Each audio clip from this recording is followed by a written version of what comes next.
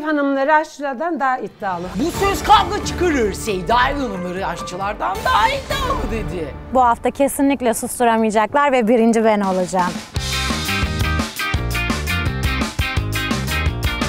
Nar nar nar. Nar nar nar nar.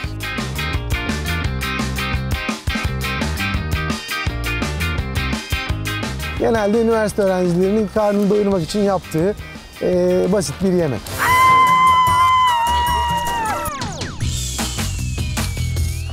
Baklavam dinlendi açıyorum. İnşallah açabilirim.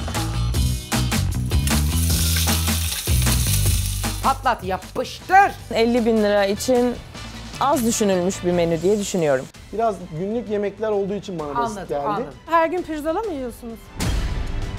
Ben şimdi davet sofrasında bu yemeyeceğim bir şey tabakta istemem şahsen. Sürekli pirinç ve mercimek üzerinden dönüyor menü.